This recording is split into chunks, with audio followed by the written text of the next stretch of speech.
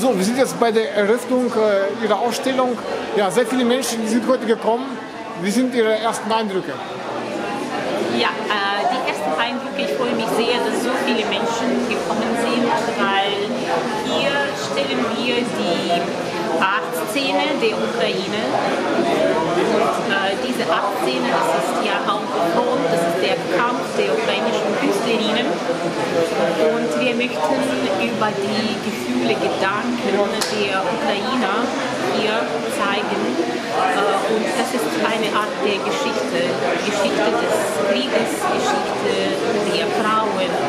Und ähm, die ganze Ausstellung ist der Frau gewidmet, die Frau, äh, die in der Geschichte der Ukraine immer bleibt und Schicksale, unglückliche Schicksale, die in der Ukraine innerhalb von vielen Jahrhunderten äh, stattgefunden, äh, bleibt sie geheftet. Und dieser Krieg also, hat sie auch gekämpft und sie kämpft und in den Bildern können wir das sehen.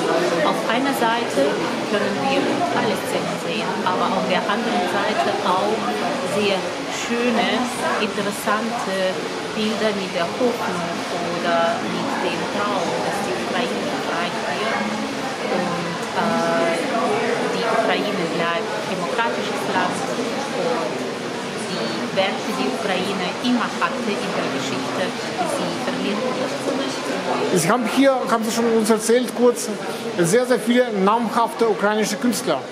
Ja, also äh, die meisten der Künstlerinnen, die hier vorgestellt sind, äh, sie sind sehr bekannt. Ja, einige gehören zu den besten äh, Künstlerinnen der Ukraine, solche wie zum Beispiel Hanna Krivala oder Alina Kuznetsova, aber auch äh, Maria Kulikowska. Viele äh, Künstlerinnen, sie werden in dem Museum auch ausgestellt oder an sehr bekannten Messen und an sehr bekannten Orten wie Manifeste zum Beispiel.